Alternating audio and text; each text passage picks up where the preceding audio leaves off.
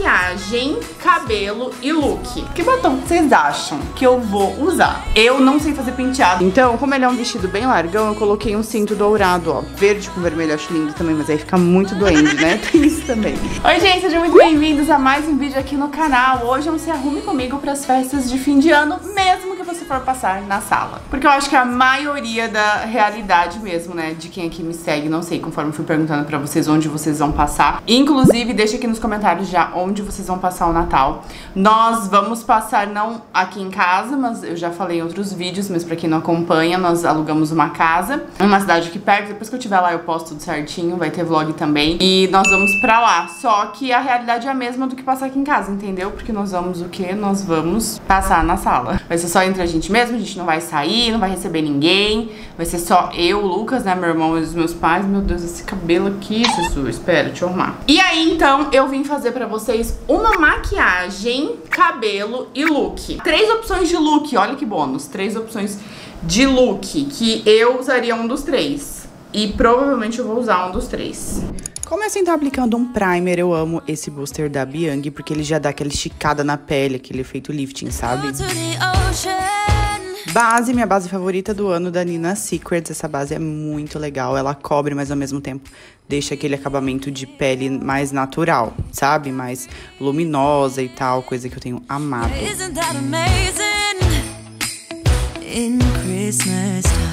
corretivo eu vou usar esse da Visela, que tem uma cobertura um pouco maior, mas eu aplico bem pouquinho pra não ficar toda marcada, sabe? Selo a minha pele inteira com pó, essa é a base em pó da Candice Berenice. E eu selo, porque minha pele é mais tendência, né, a ser mais oleosa.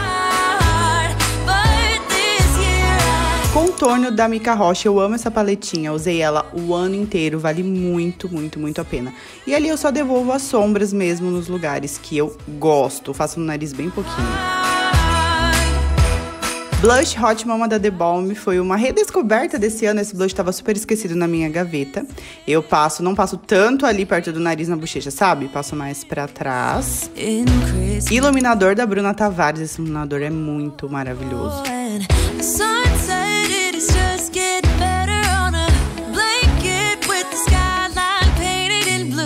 Sombra, eu vou misturar essas duas da paleta da Nina Secrets, que foi uma das minhas paletas favoritas do ano também, viu? Se não a favorita.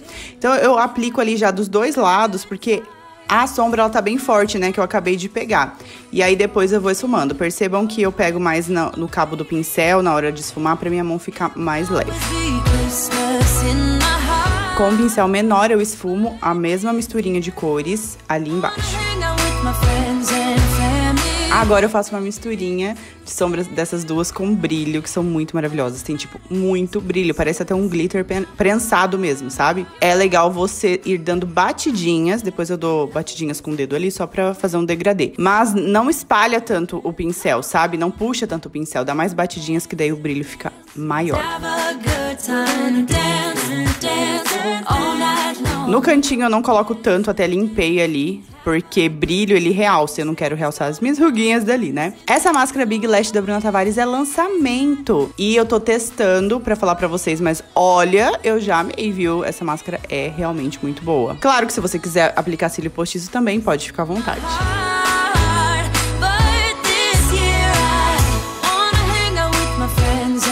Make dos olhos pronta, com bastante brilho. Essa máscara da Bruna Tavares, gente, tô testando ela ainda. Por isso que eu não tinha mostrado pra vocês. Mas ela é muito maravilhosa. Olha só o volumão que deu, né? Gostei muito. E de batom... Que batom vocês acham que eu vou usar? Mas é claro que seria o meu vermelho. Vermelho da K. Yeah, let's go outside. We can hang out on the beach without freezing. Isn't that amazing? In Christmas times. We'll be Não dava pra escolher outro batom, né, gente? Meu vermelho com fundo cereja, que eu amo. E se você não sabe, eu lancei uma linha de batons. Vou deixar um vídeo aqui linkado no final pra vocês assistirem quem ainda não assistiu. E ele vende direto lá com a Farmácia Poçanga. E agora pro cabelo, o que, que eu pensei em fazer, gente? Pensei em fazer um babyliss mesmo. Mas aí vai depender do seu gosto, né? Se você gosta do cabelo liso, se o seu cabelo é cacheado, você faz uma finalização. Se você gosta de fazer penteado. Eu não sei fazer penteado, eu sou péssima, na verdade, em penteado. A única coisa que eu sei fazer mesmo é o babyliss. Então, vou fazer um babyliss só pra não ficar com cabelo liso, tá? Pra ficar com cabelo diferente. In Christmas times.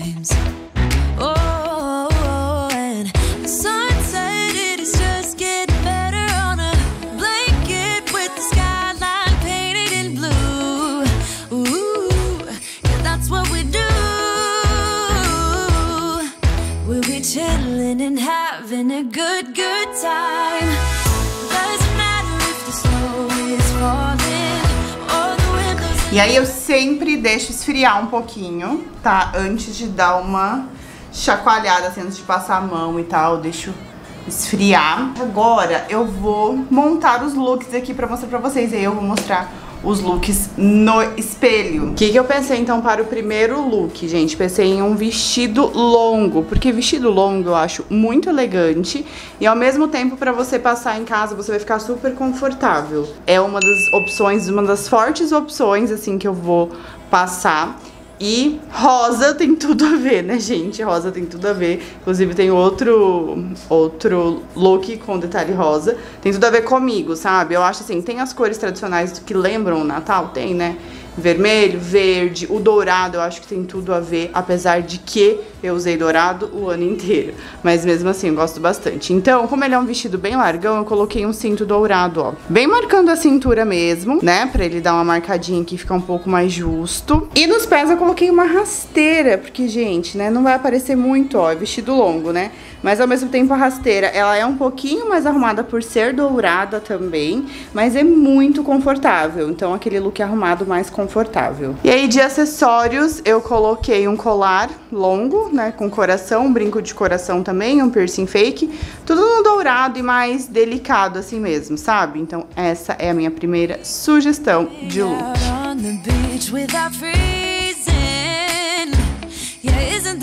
Segundo look, que tem até a cara um pouco de Réveillon, né? Porque tem verde com branco. Faz muito tempo que eu não passo toda de branco, gente. Faz muito tempo mesmo.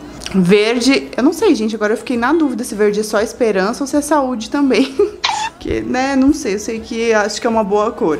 Mas, tirando isso também, eu tenho amado usar verde, né? Quem me acompanha lá no Instagram sabe que eu tô usando muito verde. Então, eu coloquei essa saia aqui, que é uma saia midi de lese, né? E aí ela tem o forro, é só até aqui, ó. Depois ela não tem mais o forro.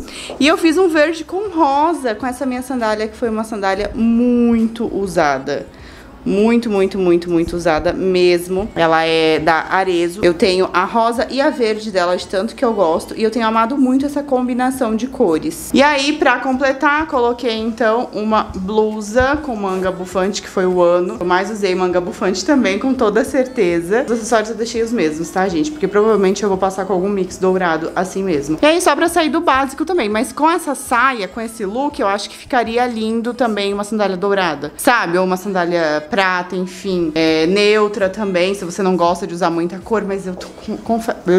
Eita. Mas eu confesso que eu amei essa combinação.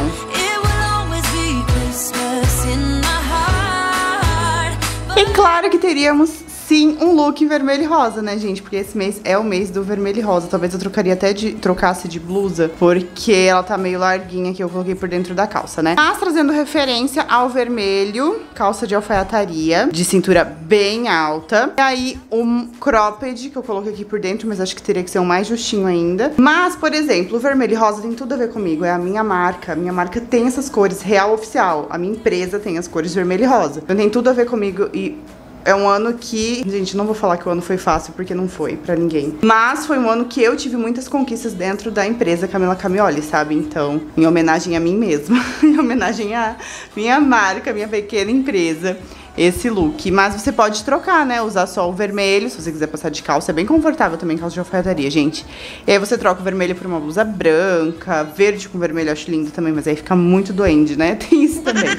mas enfim, gente. E aí nos pés eu coloquei uma sandália dourada. Como eu falei, dourado tem tudo a ver com o Natal, né? Só que eu uso dourado o ano inteiro, na verdade. E é uma sandália que tem um saltinho, ó, mas é um salto bloco bem confortável, então bem tranquilo de usar também.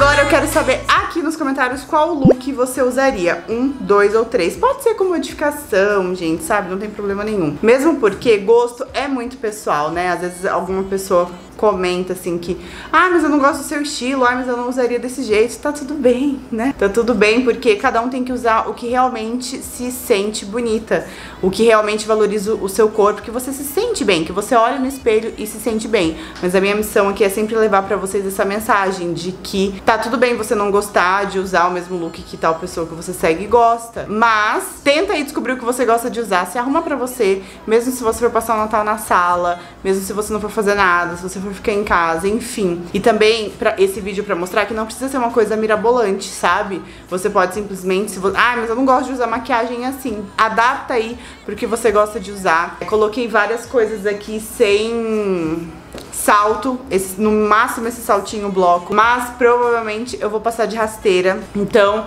é isso, gente, só pra não passar em branco aqui essa época que eu falo tanto, né, de autocuidado, de autoestima, de se arrumar. O como me arrumar me faz bem e eu quero transmitir isso pra vocês também, tá? Um Feliz Natal pra vocês, desejo todas as coisas boas do mundo pra vocês. E voltem aqui sábado e domingo que vai ter vídeo novo aqui no canal, hein? Conto com vocês. Se vocês curtem vídeos aqui no canal, qualquer vídeo, agora eu tô apelando pra qualquer vídeo, gente, deixa seu like que é muito importante pra mim. E, claro, não esqueça de se inscrever aqui no canal também, pra você já começar 2021 coladinha comigo. Um grande beijo até o próximo.